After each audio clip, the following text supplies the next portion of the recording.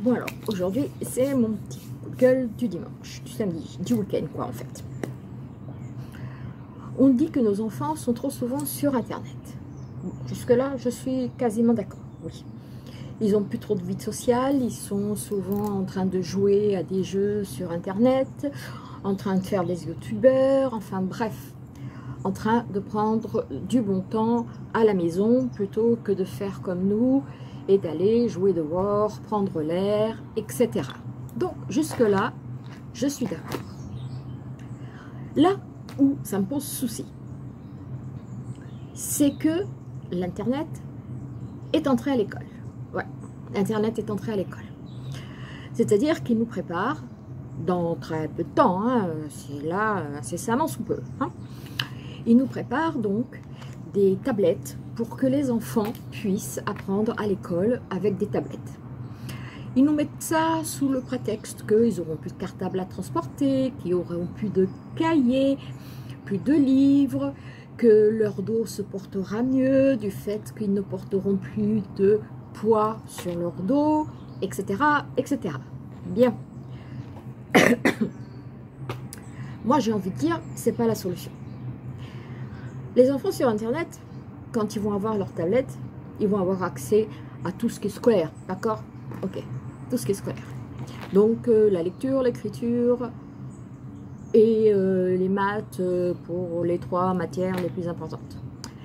Donc, la lecture, bah, lire sur une tablette, c'est pas top. J'ai essayé, c'est pas top. Enfin, moi, ça me convient pas. Après, peut-être que les nouvelles générations, ça ira. Écrire sur euh, la tablette, c'est génial, mais on fera plus de fautes. Il y a le correcteur d'orthographe. Il n'y a plus moyen de faire des fautes. Donc, il n'y aura plus de fautes. Les gamins sauront toujours pas écrire. Et mais il n'y aura plus de fautes. Parce que le jour où vous leur mettrez un papier et un crayon, euh, un crayon et une feuille, euh, et que vous leur direz écris-moi ça, hein, ils vont l'écrire comme ils le pensent. C'est-à-dire soit version SMS, hein, soit comme ils l'entendent, de façon phonétique. Parce qu'il n'y aura pas de correcteur. hein, Sur une feuille, il n'y a pas de correcteur. hein, Tu écris ou tu écris pas, donc il n'y aura pas de correcteur. Résultat des courses, ils seront ignares. Ils ne seront pas écrire. Ils seront ignares. Mais ça ne s'arrête pas là. Le pire dans cette histoire, hein, pour peu qu'il y ait du pire, c'est quand même que euh, les calculs non plus, ils sauront plus. Non, ils sauront plus. Bah non. Il y a une calculatrice sur la tablette, donc ils sauront plus compter non plus. Bah non. Et un, ça fait 3 pour ça les dérange pas. hein. Donc euh, il y aura la tablette, alors il y a le correcteur d'orthographe, et il y a la calculatrice. Bon. Ça, c'est déjà une chose.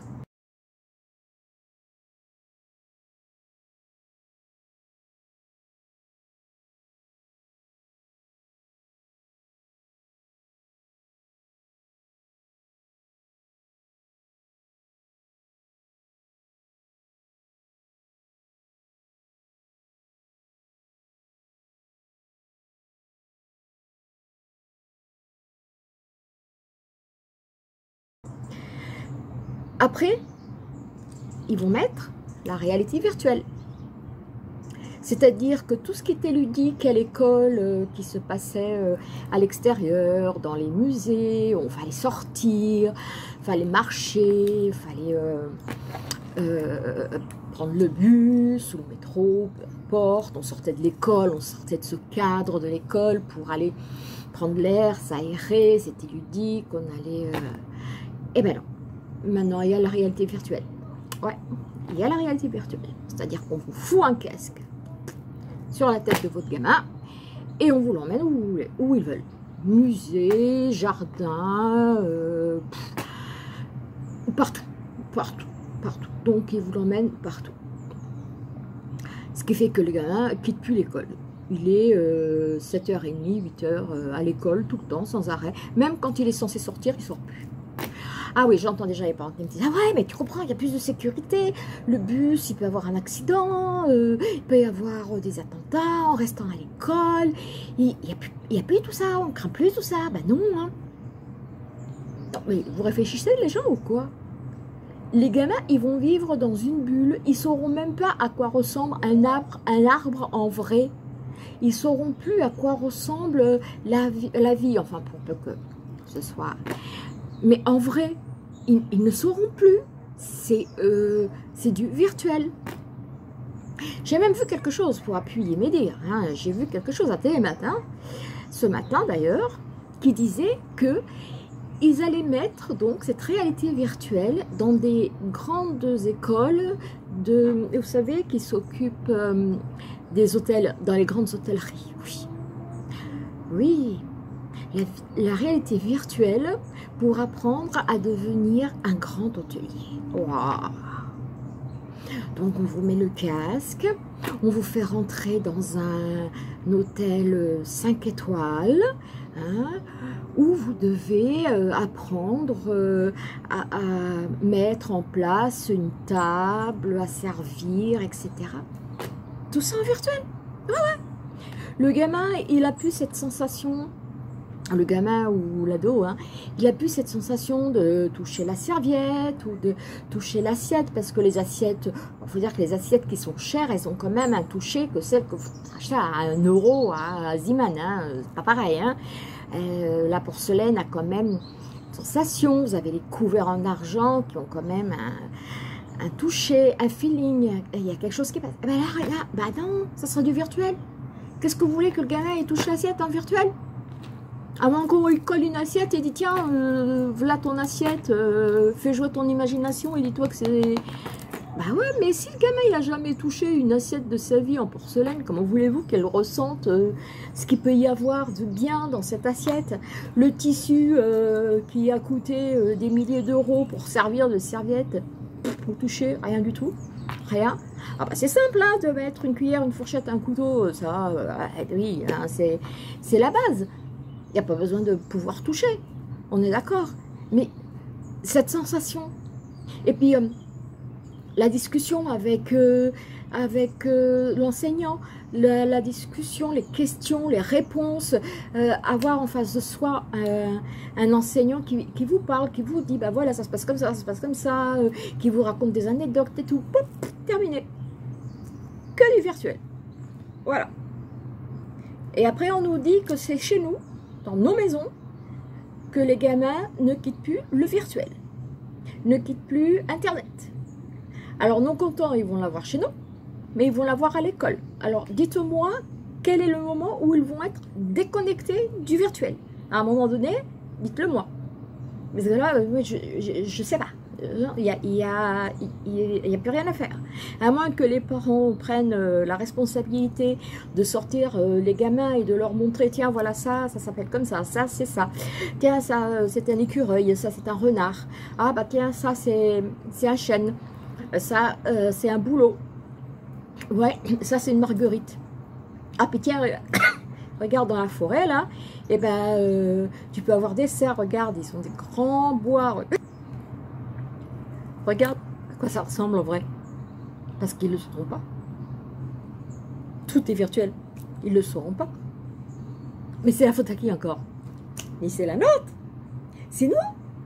Vous croyez? Tu crois que c'est nous qui avons demandé parce que l'école, elle rentre euh, dans l'Internet de dire que ouais, on va alléger les cartables des enfants? C'est nous qui avons demandé On n'a rien demandé du tout. C'est à eux de s'organiser autrement. Hein et euh, de faire les leçons autrement et de faire faire les devoirs autrement que de mettre euh, 15 kilos dans le dos d'un gamin de 6 ans, ça, par exemple. Hein mais je pense pas que euh, la, la- tablette euh, soit une solution. Alors, mais alors pas du tout. Ça va, euh, les enfants, ils vont devenir idiots avec cette tablette. Ils vont devenir idiots. Heureusement, alors je vais vous dire un truc, hein, et ça, peut-être bien que les gens vont se fâcher ou pas, mais je m'en fous, c'est ma façon de penser. Heureusement qu'il y a des youtubeurs qui sont là pour faire l'école correctement. Sérieux, je vous le dis. Hein. Moi, mon fils, il adore un youtubeur, c'est euh, Squeezie. Bah, excuse-moi, hein, je te fais la pub, mon gars, si tu regardes la vidéo, tant mieux. Hein. Et ben, il lui apprend plein de choses. Mon fils, il a appris à dessiner euh, grâce à lui. Il a appris plein de choses grâce à lui. Hein. Bon, des, des biens, des moins bien, mais enfin, il a appris plein de choses grâce à lui. Alors, euh, c'est vrai qu'à la limite, chez nous, à la maison, en regardant, euh, YouTube et Internet, ils vont apprendre plus qu'à l'école. Ils seront plus malins que d'aller à l'école. Alors moi, du coup, je me pose une question. À quoi va servir l'école? Bah oui, à quoi ça va servir? Vu qu'à la limite, ils vont apprendre plus en regardant euh, Internet à la maison que en le regardant à l'école. À quoi ça va servir? Moi, je me pose la question. Je ne pense pas que ça serve à grand chose au final. Hein Parce que à partir de là, il n'a plus besoin d'aller à l'école. Arrivé euh, en troisième, il n'a plus besoin d'aller à l'école. Qu'est-ce qu'il fait? Il s'achète un casque virtuel. Il met euh, ce qu'il veut apprendre euh, dans son casque virtuel et il apprend à la maison.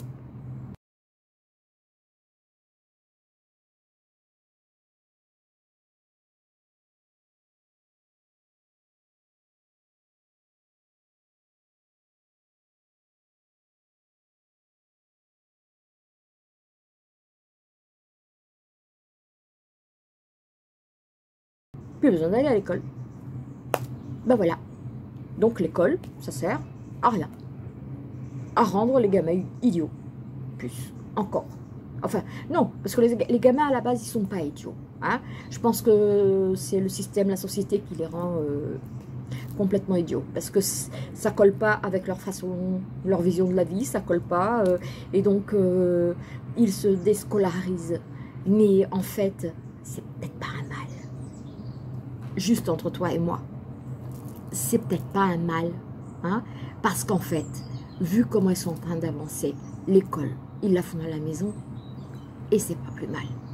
Hein? Donc, qu'ils continuent comme ça, que les gens voient la vérité telle qu'elle est, et non pas telle qu'on nous la euh, sur, euh, sur la télé et partout ailleurs, hein, voire même dans les écoles, et euh, dites-vous que à la maison, c'est pas plus mal. Bon, bah ça c'était mon petit coup de gueule, fallait que j'en passe un. Hein, ça, me, ça me démangeait, ça me taraudait depuis un moment qu'on est en train de nous mettre sur le dos euh, la faute que nos enfants sont trop devant Internet. Eh ben, qui regardent un petit peu, vous voyez, genre, euh, euh, avant de venir nettoyer les poussières qu'il y a devant mes yeux, regarde la poutre qu'il y a devant ta porte. Hein. L'éducation nationale, chapeau, à chapeau. Alors là, moi je, je trouve qu'ils vont de plus en plus loin, ils vont de plus en plus fort, de plus en plus vite pour rendre nos enfants qui au, qui au départ avaient une euh, logique, qui avaient un savoir, qui avaient une intelligence, pour les rendre complètement idiots, ignares, qui ne savent rien. Hein. Euh, moi j'ai vu des enfants qui disaient que en fait euh, le poisson c'était un cube pané. Hein. Ah c'est génial, ah c'est génial.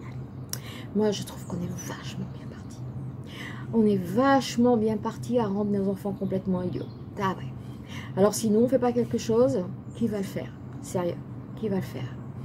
Sûrement pas l'éducation nationale. Hein. Ça, ne faut pas y croire pas. Et si vous croyez encore que l'éducation nationale est en train d'œuvrer pour le bien-être de vos enfants, et eh ben vous mettez le doigt dans l'œil bien profondément jusqu'à l'omoplate. Hein. C'est moi qui vous le dis. Enfin, mais bon, comme je dis souvent des bêtises, hein, on va pas en tenir compte. Et puis, euh, bah, écoutez, moi je vous conseille d'aller voir quand même sur Internet parce que il y a des choses qui se dévoilent sur Internet. Ouais. Maintenant, il y a des choses qui se dévoilent et c'est super important. Ouais, ouais. Surtout quand ça parle des enfants. Ouais et de la scolarisation des enfants. Mm, mm. Eh ouais, je vois peut-être sur du long terme. Mais moi, je vois que mon fils, déjà là, il a plus de tableau à l'école. Il a le TDI. Ouais. Le tableau qui est relié à l'ordinateur de la maîtresse.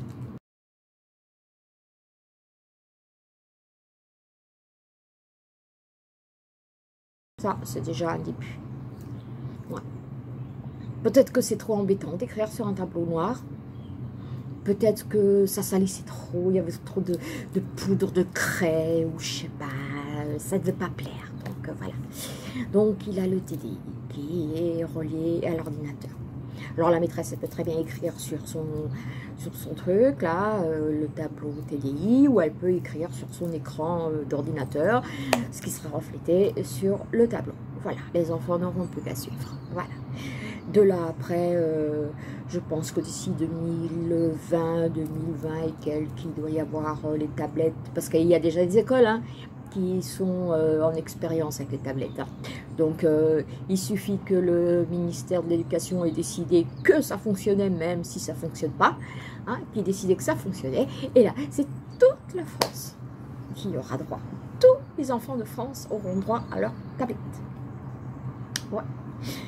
Après, on va dire que nous, les parents, on laisse les enfants trop souvent sur Internet et euh, qui ne quittent plus Internet pour quoi que ce soit. Il faut dire que l'école nous donne un sacré coup de main. Et pas dans la bonne direction non plus. Voilà. Bon. Ben, je vais m'arrêter là, hein, parce que sinon j'en aurai pour la journée. hein, et puis euh, j'ai autre chose à faire. hein, voilà.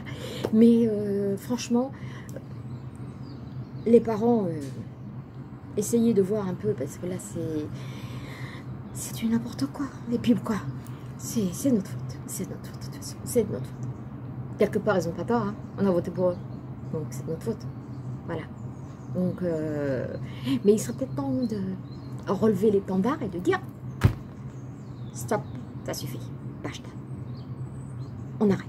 Ça suffit. On revient aux anciennes méthodes. Le papier, le crayon, la gomme. Rien de mieux. Rien de tel. Tu peux tout faire avec. Tu peux écrire. Une fois que tu as écrit, tu lis ce que tu as écrit. Tu peux compter. Mhm. Et tu peux même faire des dessins. C'est bien, les dessins. Ça change les idées, les dessins. Ça te reconnecte avec toi-même, les dessins. C'est bien. Voilà. Sur ce, bah écoute, euh, si tes parents, euh, tu vois ce qui t'attend, et si tu l'es pas encore, si tu vas l'être bientôt, bah tu vois ce qu'attend ton enfant, parce que lui, il aura encore, il sera, il, il est plus jeune, donc il aura accès plus rapidement à ce que je viens de te dire. Ouais, n'oublie pas ça, tu vas voir. On en reparle si tu veux dans quelques temps. Hmm? Allez, en attendant, porte-toi bien et à bientôt. Tell me pretty lies, look me in the face. Tell me that you love me, even if it's fake.